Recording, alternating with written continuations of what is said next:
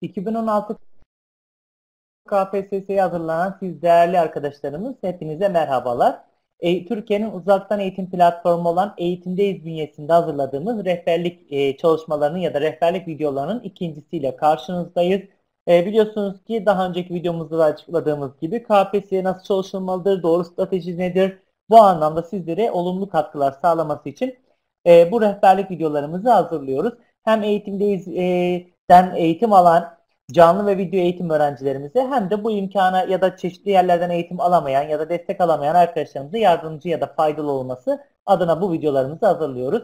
E, biliyorsunuz ki günden bir maddemiz e, KPSS'ye ilk defa hazırlananlar için verdiğimiz tavsiyelerdi. Gündem 2 yani bu videomuzun içeriği ise ilk kez hazırlananlardan ziyade tecrübeli olanlar. Tecrübeden kastettiğimiz şey nedir? E, birinci ya da ikinci yıl daha fazla da olabilir. E, sonuç olarak daha önce KPSS hazırlanmış ama e, olmamış e, arkadaşlarımız için hazırladığımız bir videodur. E, eğer içimizde ya da bu videoyu izleyenler içinde e, KPSS'ye ilk defa hazırlananlar ya da bu sürece ilk defa adım atanlar varsa bu videodan önce e, mutlaka e, birinci gündem maddemiz olan videoyu izlemenizi tavsiye ediyoruz. E, nereden ulaşacaksınız? Ender Hoca YouTube sayfası yani YouTube kanalı içerisinde Ender Hoca kanalını bulacaksınız. E, ya da eğitimdeyiz ya da Hoca eğitim ürünlerin fan sayfalarına girerek de e, oradan da bu, bu videolara ulaşmanız mümkündür. E, bu videomuzun içeriği dediğim gibi KPSS ilk kez değil de daha önce hazırlanmış arkadaşlara dönük olarak vereceğimiz tavsiyelerdir. E, tabii ki 10 e, adımdan bahsedeceğim. Fakat bu 10 adımın birçoğu sizlerin aslında vakıf olduğu yerler olacaktır. Sonuç olarak KPSS sürecini en azından bir kere geçirmiş olan bir arkadaşımızın zaten bu süreçte birçok şeye e, hakim olduğunu görebiliriz. E, Birçok şeyin de farkındasınızdır büyük ihtimalle. Fakat e, süreç içinde hatalar yapabiliyoruz. En azından e, doğru şeyleri tam kestiremeyebiliyoruz. Bu anlamda sizlere faydalı olacağını düşünüyorum. O zaman yavaş yavaş başlayalım. Bu arada kendimi tanıtmadım. Tekrar da söylemiş olalım. Eğitim yazarı Ender Arslan. E, Ender Hoca fan sayfasından da takibi yapabilirsiniz. Bu videolarımızın devamı gelecek demiştim hatırlarsanız. Bu videomuzdan yani gündem 2'den sonra artık ders ders ilerleyeceğiz. Yani Türkçe'de e, neye dikkat etmemiz lazım, matematikte neye dikkat etmemiz lazım, eğitim bilimlerine hangi derste nasıl dikkat etmemiz gerekir şeklinde e, ders ders videolarımızı yayınlamaya başlayacağız. Bu ikinci genel videomuzdu. Daha sonrakiler ayrıntılı ders bazında olacağını söyleyebiliriz. Peki o zaman başlayalım. Şimdi KPSS'ye daha önce girdiniz. Geçen yıl olabilir, ondan önceki yıl olabilir. Daha uzun bir geçmiş de olabilir. Bu kesinlikle öncelikle sizi demoralize etmesin. Çünkü biliyoruz ki e, KPSS'ye binlerce kişi girecek, girmektedir. Ki öğretmenlikte bu 400 bin rakamlarıdır. B grubunda 2 milyon rakamları bulur. Hatta üzerine çıkabilir. Ama atanan sayısı biliyorsunuz ki %10, %15 bandında gezer. Hatta bu bile çok yüksek bir orandır şu an bahsettiğim. Genellikle B grubunda daha düşüktür. Dolayısıyla yıllar boyunca KPSS hazırlanmış olabilirsiniz. Bu sizin eksikliğiniz değildir öncelikle. Ee, tabii ki evet kazanan ya da atananların bir artısı muhakkak vardır. Ama ortada çok ciddi bir yarıştan bahsediyoruz. O yüzden KPSS'de bizim her zaman merkeze aldığımız ana nokta kesinlikle taktiktir arkadaşlar. Biliyorsunuz ki daha önceki videomuzda da bunu e, üstüne basa basa belirttim.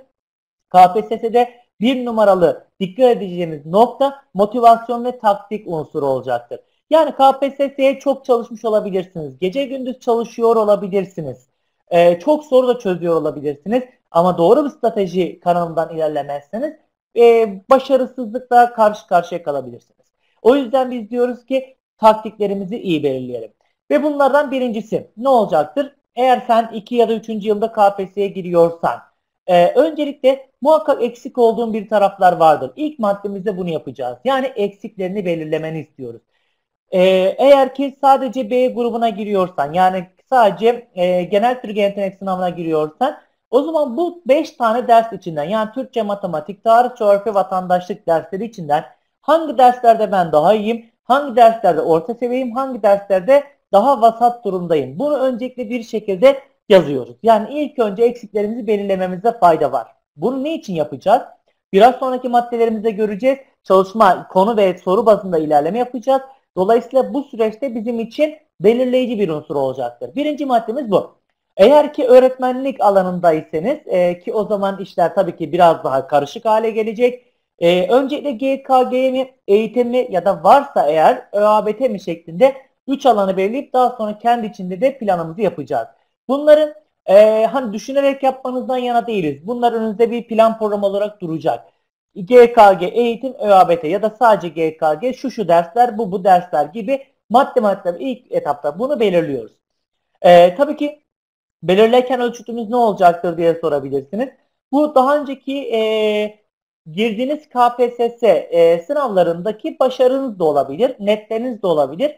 Ama bu aynı zamanda e, şu da olabilir. Yani bir soru ya da bir deneme çözerken e, daha çok hangi alandan sorun yaşıyorsanız buna göre hareket edebilirsiniz.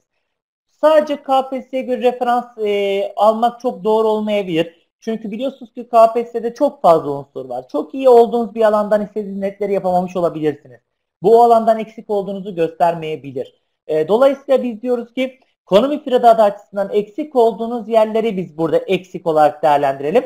E, birkaç parametreyle hareket etmiş oluruz. İkinci kısmımız ise bunlar daha çok done olacak şeyler bize şimdilik. Kalan zamanımızı iyi hesaplayacağız. Çalışmaya biliyorsunuz ki herkes aynı zamanda başlamıyor. Kimisi Ağustos ayında başlamıştır, kimisi Eylül-Ekim ayında, kimisi Ağustos, Kasım ayında vesaire. Ama genellikle KPSS çalışma süreci tam motive olduğumuz zamanlar Kasım aylarıdır. Ekim ayı tabii ki KPSS'ye başlama sürecidir. Çoğunlukla birçok kişinin başladığı dönem Ekim'dir. Fakat tam olarak raya girdiğimiz dönem Kasım olarak karşımıza çıkar. O yüzden eğer süreç içinde bu videoyu daha sonra izleyenler olursa Ocak olur, Şubat olur ya da daha öncesi olur fark etmez. Önümüzde genel Türk yetenek sınavına ne kadar zaman var? Ki 22 Mayıs olarak tarih verildi biliyorsunuz ki. Eğitim ilimlerinde kaç haftamız var? ÖABT'de KPSS A grubunda kaç haftamız vardır? Bunu da bir kenara yazıyoruz. Aşama aşama ilerleyeceğiz. Ee, amacımız nedir burada? Biliyorsunuz ki arkadaşlar KPSS'de zaman yönetimi çok önemli bir unsurdur. Ee, meselemiz nedir her zaman? Zamanı, zaman yönetimiyle düzenli ve sistemli bir şekilde ilerleme kaydedersek zaten süreç içerisinde bizde oluşacak stres ve kaygıyı ortadan kaldırmış olacağız. Şu ana kadar yaptığımız şey nedir? Eksik olduğumuz alanları belirledik. İkinci adım, adımda ise önümüzde kaç hafta vardır bunu ortaya koyduk. Fakat haftalar ortaya koyarken yapılacak en büyük hatadır. 22 Mayıs örnek veriyorum. GKG'ye eğitim sınavı 22 Mayıs'ta verilmiştir. Bu demek değildir ki ben 22 Mayıs'a kadar zamanım var. Kesinlikle böyle bir şey söylemiyoruz. Her zaman arkadaşlar bir sınava yani net çalışabilir dediğimiz zamana sınavın en az 3-4 hafta öncesini referans alırız. Bunu birinci videomuzda da açıklamıştık. Kesinlikle ve kesinlikle eğer 22 Mayıs'sa senin burada koyacağın tarih Nisan sonudur. Yani Nisan sonuna kadar bir zamanın vardır. Son ayı kesinlikle ben sıfırdan der konu çalışmak olarak ayırırım dersen bu yapılacak hataların başında gelir. Buradan bir şeyi çıkartabiliriz şimdiden. Biraz sonraki maddelerinizle alakalı. Fakat söylemiş olalım. Yeri geldi. E, demek ki KPSS'de e, sınavın bir ay öncesinde artık biz yoğun konu çalışma olayını bir kenara bırakmış olacağız. Yani bir ay öncesinde sen sınava hazır olacaksın. E, son bir ayını e, neye, ne için değerlendireceğiz? Biraz sonra göreceğiz sonra onları. E, çıkmış soruların çözümü, e, daha önce yaptığımız, yanlış yaptığımız soruların tekrar çözülmesi ve son rutin tekrarlar olarak karşımıza çıkacak. Son ayımız kesinlikle bunlara ayrılmak zorundadır. Altın çizerek söylüyoruz. Peki üçüncü adıma geçecek olursak nedir? E, konu çalışma stratejisi. Artık olaya şimdi başlıyoruz. Şimdi sizler bu zamana kadar hangi alandan, hangi dersten eksiklerinizin daha fazla ya da daha az olduğunu ortaya koydunuz. Bu ilk yaptığımız şeydi bizim. Bunun aşama akabinde ise artık konuyu nasıl çalışacağımız önemlidir. Şimdi biz e, KPSS'ye ilk defa çalışan, ilk defa e, bu yola giren arkadaşlara önerdiğimiz yöntem farklıydı. Neydi pekala onlara? Daha çok mesela böyle kademe kademe ilerleme metoduyla hareket ettirmiştik. Fakat tecrübeli arkadaşların e, burada taktiği biraz daha farklı olmasından fayda var. Nedir pekala? Zaten GKG olsun, eğitim, ÖABT, KPSS, A fark etmez. Hangi alandan sorumluysanız daha önceden buralara dönük bir aşinalık söz konusudur. Bir çalışmışlık söz konusudur. Burada şöyle şunu da söylemiş olalım. Kişi daha önce KPSS'ye girmiştir ama çok özen göstermemiştir ya da çok fazla e, kendini vermemiştir. O arkadaşlarım zaten burada kastettiğim değil. Onlar ilk defa çalışıyormuş gibi hareket etmeleri lazım. Ama geçen sene ya da ondan önceki sene ben KPSS'ye ciddi ciddi çalıştım ama olmadı. İşte o arkadaşlar önereceğimiz şey şudur ki siz ilk etapta Benden size genel bir tavsiyedir bu. GKG'den yola çıkalım. Eğer GKG'ye gireceksen bu birkaç ay içerisinde en azından Ocak ayına kadar konuları baştan sona kadar ele almanızda fayda var. Yani ilk yapmanız gereken şey konuları şöyle bir baştan sona kadar ele almanızı istiyoruz. Zaten konuda bir birikim vardı. Bunu tamamıyla pekiştirmenizi birinci kural olarak görüyoruz. Peki hangi derse kaç aya ayıracağız derseniz bu tamamen sizin e, az önce yaptığınız planla alakalıdır. İlk ver ilk yapacağınız tekrar ya da ilk yapacağınız konu çalışmalarını eksik olduğunuz alanlara dönük yapmanız gerekiyor. Yani eğer benim tarihten eksiklerim var diyorsanız ilk önce tarihi halledeceksiniz. Yani burada metot olarak şunu söylemeye çalışıyorum. Ee, en azından Ocak ayına kadar hadi maksimum Şubat diyelim buna ayına kadar konularımızın bitmiş olması gerekiyor. Genel bir tekrar yapalım. Hatta çok fazla ilk etapta, ilk zamanlar çok soru yerine çok konu hallederek e, ilerleyen zamanlarda e, konu tekrarlarıyla soru çözümünü ağırlıklı hale getirmemiz gerekecek. Birinci yapacağımız mantık budur. Ve bunu yaparken sistemli olacağız. Yani ne demek istiyorum ben burada? Örnek veriyorum matematiğe ya da tarihe başladı arkadaşımız. Ee, evet tamam istediğimiz şey neydi? Zor olduğu alandan başlasın. Tarih olduğunu varsayalım. Ee, iki hafta yoğun bir tarih çalışıp onu bir kenara bırakıp bir hafta başka derse yoğun çalışıp onu bir kenara bırakıp ki bir taktik benimsemeyin. Ee, bu şekilde yaparsanız anlamsal bütünlüğü sağlayamayız. Diyoruz ki ya bir dersi al bitir ya da yapamıyorsan bu yorucu geliyorsa sana diyoruz ki atıyorum kültür derslerinden. Tür ne var mesela? Tarih, vatandaşlık ve coğrafya var. Bu kültür derslerinin üçünde aynı anda çalışmaya başla. Sistemli götür. Haftalara böl kendini. Atıyorum de ki haftanın iki günü bu ders, bir günü bu ders, iki günü bu ders şeklinde ilerlemeye götür. Ha günleri atıyorum hangi derse kaç gün verileceği noktasında bir şey söyleyemeyiz. Çünkü bu senin eksik olduğun alanla alakalı bir durumdur. Ee, dediğimiz gibi ya bunu benimsersin ya da başta bitirme metoduyla gidersin. İki hafta bir dersi çalışıp onu bir, bir kenara bırakıp iki hafta ara verip başka derse geçmek doğru bir metot olmayacaktır. Anlamsal bütünlüğü korumamız şart arkadaşlar. Ve bunu yaparken e, daha önce söylediğimiz şeylerden bir tanesiydi bu da aynı zamanda. E, nedir peki? Konu atlama olayı. Yani e, süreçte tabii ki zorlandığınız yerler olacak. Konu tekrarını çünkü yoğun yapacaksınız sizler bu 3-4 aylık süre içerisinde. E, bu sürede ya ben burayı zaten zamanım var, zaten konu tekrarını erken bitireceğim diyerek atıyorum Mart ayına, Nisan ayına, Mayıs ayına bırakmanı istemiyoruz. Dolayısıyla e, her zaman metodumuz şudur biliyorsunuz ki yarın bir sınava girecekmişiz gibi hareket etmemizde fayda var. Genel metodumuzun böyle olması gerekiyor. Yani konu atlama prensibine karşıyız. Ve gelelim en önemli kısım. O da tabii ki soru çözme stratejileri olarak karşımıza çıkıyor. Şimdi burası önemli. Zaten bizim e, gördüğümüz e, en büyük sorunumuz yani genelde bu. Yani soru çözme ile ilgili tecrübelerimiz çok fazla yok. Belki de sorunu buradan daha çok yaşıyoruz. Öncelikle şuna vakıf olalım. Eğer ki e, başta yapacağımız 3-4 aylık süreçten bahsediyorsak buradaki çözeceğimiz sorular konularımıza paralel olacak. Yani şu an matematikten ya da tarihten daha çok konu ağırlıklı gidiyorsak onun da testlerine ya da sorularına yönelmemizde fayda var. Ama benim size burada özel bir tavsiyem var. Eğitim bilimleri için buna gerek yok. Ee, ÖABT'nin bazı branşlarında gerek yok ama genel tür genel yetenek e, derslerine çalışırken esas olaylarımızdan bir tanesi zaman sıkıntısı. Biliyorsunuz ki 120 soru var. Soru başına ortalama 1 dakika süre düşüyor. Dolayısıyla arkadaşlar bizim burada zamansal problemimiz var. Yetiştirmekte sıkıntılar yaşayabiliyoruz. O yüzden diyoruz ki evinizdeyken e, mesela Türkçeden paragraf sorularını çözüyorsanız e, bunları zamana karşı çözmeye çalışın. 20 tane e, paragraf sorusunu çözerken 25 dakika süre verin kendinize.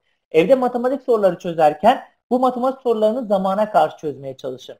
Yani GKG kısmında zaman bizim için çok önemli bir ayrıntıdır. Biliyorsunuz ki biz alışkanlıkları nasıl elde edersek bu da böyle devam edecektir. Ee, eğer sen evde normalde matematik, Türkçe gibi derslerden çok rahat rahat soru çözüyorsan atıyorum 5 tane soruyu 10 dakikada çözüyor, 15 dakikada çözecek şekilde bir gelenek oluşturduysan kendine alışkanlık oluşturduysan daha sonra 120 GKG sorusunu yetiştirmekte zorluk yaşayabilirsin. Ee, biz diyoruz ki her zaman o 120 tane GKG sorusu sınavın en az 10 dakika öncesine bitmesi gerekir. Çünkü geri bakacaksınız eksikleriniz olacak. Optik okumada bunu mesela dikkate almıyoruz. Optik forma işaretleme bile totalde 5 dakikalık zaman kaybı demektir. Dolayısıyla her zaman e, bu soruları ya da GKG kısmını soru çözerken zaman bazında hareket ettirmeye çalışalım. Yanlışınız tabii çıkacak. Başta yetiştiremeyeceksiniz. Bunları yaşayacağız. Ama şöyle düşünün. Biz bunları KPSS'nin yani gerçek KPSS sınavında e, yaşamak yerine daha önceden yaşayarak bu tecrübeleri önceden edinirsek önlemini almamız da bir o kadar kolay olacaktır. Yani ikinci maddemiz olan zaman bazlı soru çözmeye dikkat edelim. Bunu e, daha KPSS yeni adım atmış olanlara başta önerdiğimiz bir şey değildi. Bu e, daha çok tecrübeli arkadaşların baştan edineceği bir kuraldır. Çünkü onlar daha konulara yeni adapte oluyorlar. E, bunu süreçte ancak yapmalarını söyleyebiliriz. Şu an için değil. Diğeri ise nitelikli soru çözümü. E, bu çok önemlidir. Şimdi KPSS sürecinde biz bunu e, tecrübeli ve diğer arkadaşlar için herkese ortak söyledim ve yine söylüyorum. KPSS papağan gibi soru çözmeye dayalı bir iş değildir. Yani elinize bir tane kitap alıp soru bankası alıp e, böyle başlayıp harıl harıl soru çözme olayına da girmeyiniz. Başta söylediğim olay bu anlama gelmesin. Biz zamana karşı çözün diyoruz ama anlamsal, nitelikli çözün diyoruz. Yani günde e, atıyorum 100, 200, 500 tane soru, soru kotanız olmasın. E, zamana karşı soruları çözün fakat bu soruları çözdükten sonra analiz edin. Yani A şıkkı neden A şıkkı, B neden doğru cevap değil, C neden doğru cevap değil gibilerinden e, analiz etmeniz gerekiyor. Yani soruyu analiz edelim. Bunu yaparken ya kastettiğimiz şey soruyla savaşmanız değil. Bu çok önemli bir ayrıntı. Genellikle tecrübeli arkadaşlarda yaşadığımız bir durumdur. E, çünkü KPSS'de bir gelenek vardı. Doğru hep doğru yapıyoruz, yanlış hep yanlış yapıyoruz. Bunu egal etmemiz lazım. E, o yüzden soruyla savaşmayınız. E, atıyorum bir soru çıkıyor karşımıza. E, kişi bu soruyu sırf kendi mantığına göre doğrulaştırmak için didik didik etmeye başlıyor. Bunu yapmanıza gerek yok. E, çünkü ÖSYM sizlerden aşırı dip sorular ya da aşırı dip cevaplar beklemez. Aslında genel bir hattı sorar, genel bir ana fikir vardır, onu yakalamanızı analiz etmenizi ister. O yüzden soruyla cebelleşmeyeceksiniz. Soru soruyla inatlaşmayacaksınız. E, doğruysa doğru, yanlışsa ne yanlış. Bu şekilde analiz ederek gitmenizde fayda var. Tabii ki yayın evlerinin her sorusu buna imkan vermeyebiliyor. Bu konuda haklısınız zaten. Ama biz daha önceden de söylediğimiz gibi hangi yayın derken yani bir yayın evini yüceltmeyiz ama bir yayın evini kötülemeyiz de. Çünkü her yayın evinin iyi ya da kötü soruları vardır. E, dolayısıyla e, biz diyoruz ki zaten ÖSYM mantığına hakim olduğunuz için sizler daha önceden sınava girdiğiniz için ÖSYM'nin bir soru ile ilgili nasıl ya da bir konu ile ilgili nasıl bir soru soracağını ya da sormayacağını çok iyi biliyorsunuz. O yüzden eğer bir e, yayının soru bankası ya da deneme sınavında uygun ya da ÖSYM'ye tarz olmayan bir soruyla karşılaşırsanız çok fazla diretmenize gerek yok. E, o soruyu es geçin. Merak etmeyin bir şey kaybetmeyeceksiniz. E, bu her yayın evinde olabilecek bir durumdur. Kesinlikle bunun altını çiziyorum. E, ya bu yayın evinde böyle sorular çıktı bunu artık çözmeyeyim mi? Hayır böyle bir şey her yayın evinde yaşayacağınız bir sıkıntıdır. O zaman anahtar nokta soruları nitelikli çözeceğiz. Zamana bağlı çözeceğiz ama mutlaka süre bittikten sonra analizini yapacağız arkadaşlar. Diğer bir nokta ise sorularla savaşmayacağız ve ÖSYM'e bağlı kalacağız. Bu önemli noktalara dikkat edelim. Ve benim sınava daha yeni hazırlananlar için verdiğim tavsiyelerden birisini sizlere de önermek zorundayım. Ee, soru analizi yaparken bazı soruları anlamayacaksınız. Bazı sorularda yeni bir şey öğreneceksiniz.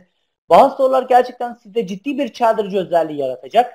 Bu soruları mutlaka işaretleyelim. Hatta eğer bir sorudan yeni bir şey kazandıysanız bunu sorunun kenarına not almaya çalışın.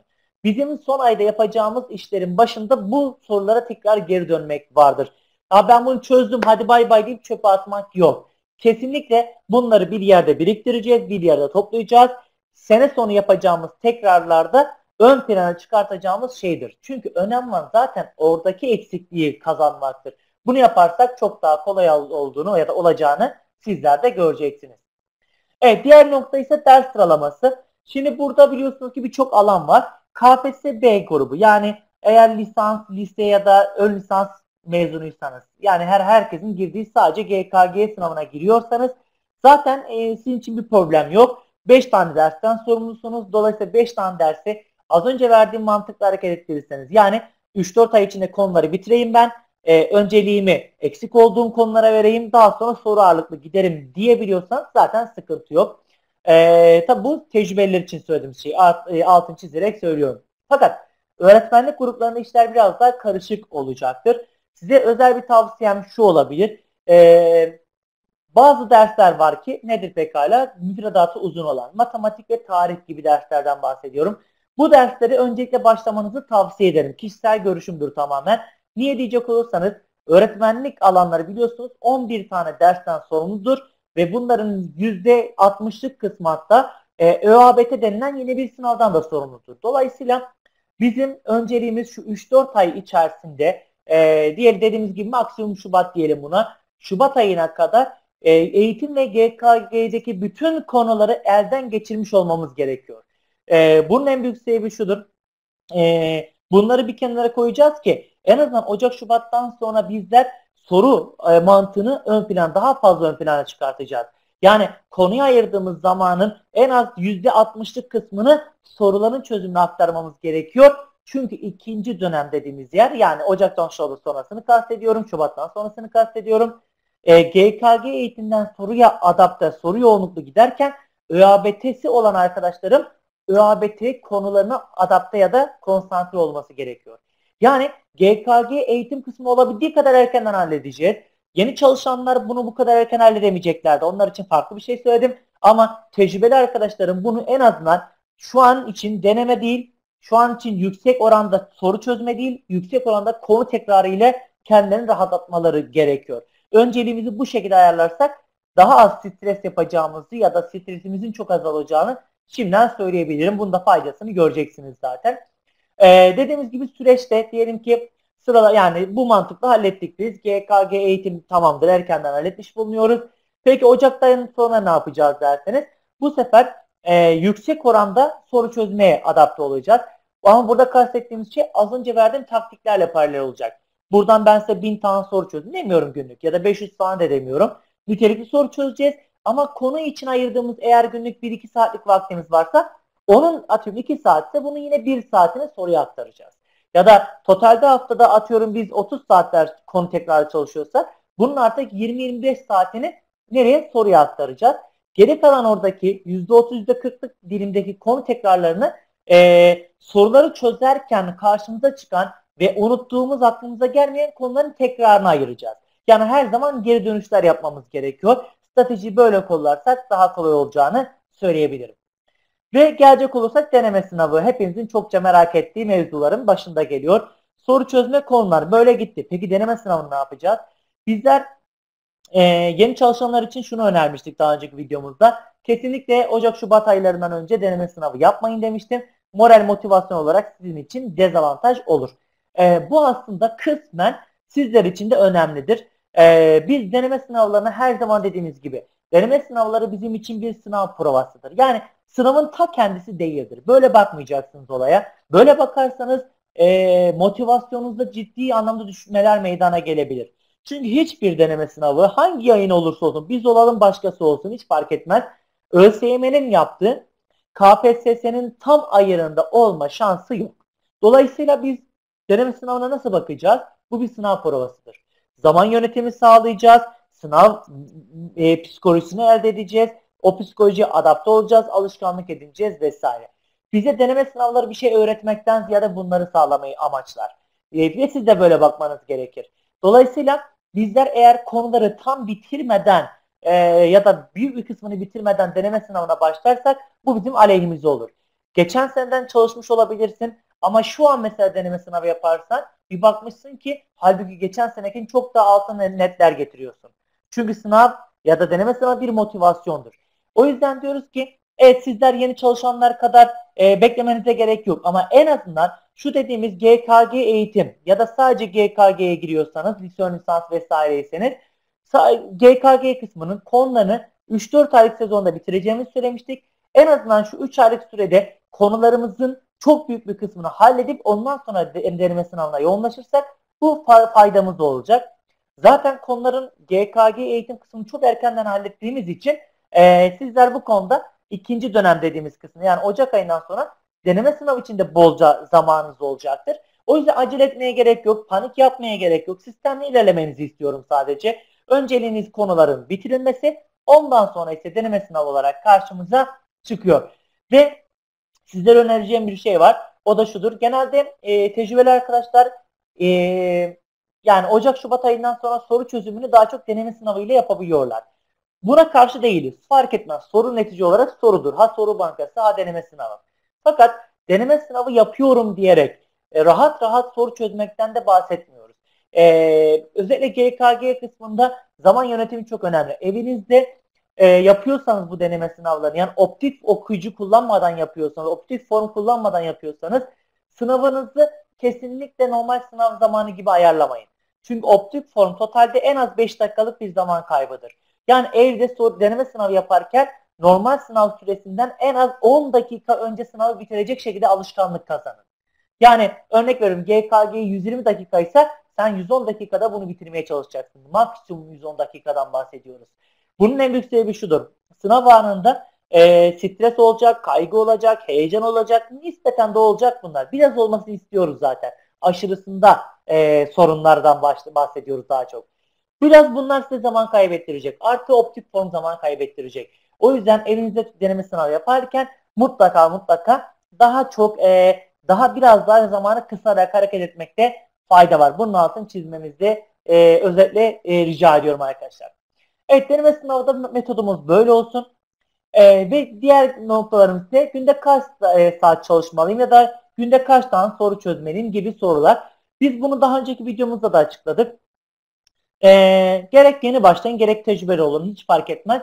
Biz hiç kimseye şu kadar saat ya da şu kadar soru diye bir tavsiyede bulunmayız.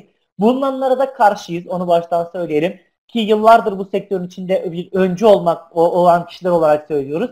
E, çünkü KPSS'de böyle bir anlayış yok.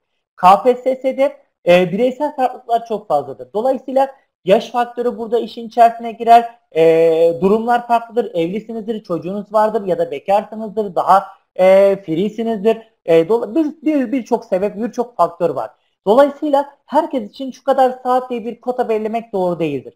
Biz diyoruz ki az önce verdiğim metotlarla git. Ne diyorum bak e, haftanı belirle dedik. E, kaç haftan kaldı? Ne kadar zamanın var? Eksik olduğun yerler nelerdir? Bunları belirle dedik ve ilk 3-4 ay içerisinde GKG'ye eğitim kısmını hallet.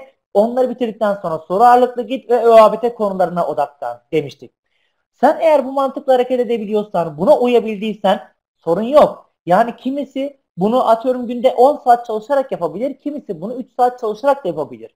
Bu sizi ne artı ne eksi yapar. Önemli olan gereken zamanda gereken şeyleri yapmaktır. Önemli olan bu ay yapacaklarımızı sonraki aya bırakmamaktır. Bunu yapabildiğiniz sürece zamanın kaldığı sürece git başka etkinliklerle uğraş. Hiç sıkıntı yok. Yani KPSS'yi bir korkulu rüyanız gibi görmeyin. E, KPSS bu anlamda iyi bir strateji kollarsanız rahat halledilecek bir süreçtir. Rahat geçilecek bir süreçtir. Biz de bunun e, merkeze alıyoruz ki yıllardır bunu teyit ettik ve bunun aksini bu zamana kadar da görmedik. Bu konuda güvenebilirsiniz.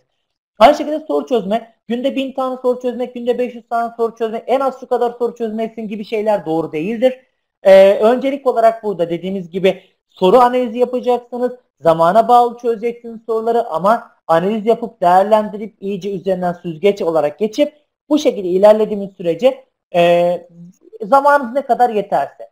Dolayısıyla biz burada e, görüyoruz KPSS'de günde atıyorum toplamda 3 tane soru bankası bitirmiş arkadaşım da sınava giriyor. Bir tane soru bankası bitirmiş olan da girebiliyor. Ama burada demek değildir ki 3 tane soru bankası bitiren çok yüksek puan alacak. Böyle bir şey yoktur kesinlikle. Nitelikli soru çözenler her zaman kazananlardır. E, o yüzden soru sayısına ya da soru bankası sayısına bakmayın. E, nitelikli soru çözmeye çalışın. ÖSYM sorularına bağlı kalın ve son ay yani artık sınavın son ayında ise ufak tekrarlar, ÖSYM soruları ve yapamadığınız soruların analizi. Ve size şu tavsiyede yine bulunacağım ben. Son ay içerisinde özellikle son 15 gün içinde kesinlikle herhangi bir yayının deneme sınavını çözmeyin arkadaşlar. Son 15 gün sadece çıkmış sorular, e, unuttuğunuz püf noktalar bunlar üzerinden sınava e, son rütuşlarınızı yapmanızı istiyoruz. Peki bunları konuşurken hangi yayın diye bir soru gelecek karşına. Ya hangi yayından ben bunları yapacağım? Ee, burada kimsenin reklamını yapmayacağım. Kendimiz de dahil olmak üzere. Çünkü e, yayın derken e, öncelikle şöyle yapalım. Mesela eğitimde izleyen eğitim alıyor olabilirsin. Başka bir yerden destek alıyor olabilirsin vesaire. Ya da kendi başına evinde çalışıyor olabilirsin. E, konu olarak yani konu bazına düşünecek olursak genellikle bir tane yayın işimizi görebiliyor. Yani ikinci bir yayına çok fazla ihtiyaç duymazsınız. Hatta 2015 yayınları da birçok anlamda sizin işinizi görecektir. Bazı derslerde ufak tefek değişiklikler tabii ki var ama e, bunlar çok ütopik şeyler değil. Yani e, konu anlamda çok sıkıntı yaşamayacaksınız. Soru bankası ya da soru çözme anlamında ne yapabilirsiniz? E, size tavsiyemiz şu. E, Mesela burada atıyorum bir yayın evinin, A yayın evinin bütün ürünlerini almak yerine karma yapmaya çalışın. Mesela soru bankasını A yayın evinden aldıysanız deneme sınavını B yayın evinden, yaprak testlerini C yayın evinden alın. Yani e, bu şekilde çeşitlendirme ya da karma bir metot ortaya koyarsanız e, sizin için daha faydalı olacaktır. En azından e, birçok yayın evinin sorularını çözme ya da görme fırsatına sahip olacaksınız. Bizim genelde önerdiğimiz metot budur. Ha hangisinin soru bankası, hangisinin yaprak testi ona sen de karar verebilirsin. Yayın evleri arasında artık uçurum farklar yok. Ee, Birçok yayın evi artık birbirine yakın değerlerdir. Bu güzel bir şey. Bu sektörün geliştiğinin bir göstergesidir. O yüzden biz diyoruz ki karma yayın evleri her zaman daha fazla faydalı olacaktır diyebiliriz çok net bir şekilde. Ve önceki yılda eğer atıyorum A yayın evinin soru bankasını aldıysanız bu sene tekrar A yayın evinin soru bankasını almanıza gerek yok. Çünkü soru kalıpları %70 aynı olacaktır. O yayın evinin bu senede atıyorum ee, yaprak testini alabilirsiniz. Atıyorum deneme sınavını alabilirsiniz. Yani geçen seneyle de farklılaştırmaya çalışın. Bu şekilde giderseniz daha faydalı olacağını düşünüyorum. Ve son maddem olarak da artık kendi öğrencilerimize dönmek istiyorum burada. Ee, biz yeni çalışanlar için bazı taktikler ortaya koyduk. Yeni çalışanlar eğitimde izin öğrencilerinden onlar bu videodan ziyade diğer videomuzu mutlaka izlesinler. Tecrübeli olan bizde uzun yani geçen yıldır eğitim alanlar var içimizde ya da ilk defa gelip ama tecrübeli olanlar var. Biliyorsunuz ki 2016 videolarının ve can derslerinin yanında 2015 videolarında sizlere veriyoruz. O yüzden tecrübeli olan arkadaşlarımız şunu yapabilirler. E, atıyorum biz derslerimizi Nisan ayına bitireceğiz. Yine sınavdan 1-1,5 ay önce bitmiş olacak. Fakat sizler 1,5-2 ay önceden de bitirebilirsiniz. Mutlaka geçen yılki videolarımızdan önden önden ilerleyin. Önden önden konuları bitirin.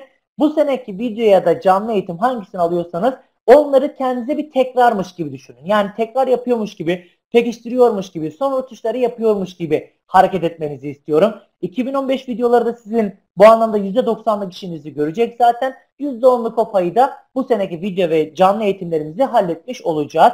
Bir tecrübeli olan arkadaşlara özellikle bunu öneriyorum ki bu e, sizi çok rahatlatacak zaten. Son 2-3 ayınızda sadece eksiklerinizi kapatacak şekilde hareket ettiğinizi göreceksiniz. Bu bizim için de faydalı olacaktır diye düşünüyorum. Evet e, çok fazla uzatmadan bu videomuzun içeriği dediğimiz gibi tecrübeli arkadaşlara az çok da olsa ışık tutmak adına yaptığımızdı. Gündem iki maddemizdi. Sizler zaten birçok açıdan her şeyin farkındasınız belki. Sadece bildiklerinizden emin olmanızı istedim ya da bazı doğruları size göstermeye çalıştım. Bundan sonraki videolarımız daha verimli olacak. Niye? Artık ders ders gireceğiz. Eğitimde eğitim derslerinin hangisine nasıl çalışmak gerekir? Herkesin girdiği kültür yetenek derslerinden şu derste nasıl çalışacağız, bu derste nasıl çalışacağız? E, ayrıntılı gideceğiz arkadaşlar ve eğitimdeyizin e, hocaları, eğitimdeyizin zümrelerinden bu konuda destek alacağız. Onlarla sizleri burada buluşturacağız. E, sizin onların tavsiyelerini sizlere sunmaya başlayacağız. ÖABT noktasında aynı şekilde devam ettireceğiz. ÖABT matematik, ÖABT fen, ÖABT edebiyat e, bunlarla ilgili nasıl çalışmamız gerekir şeklinde hocalarımıza rehberlik derslerimizi çektireceğiz. Yani metodumuzun böyle olacağını söyleyebiliriz.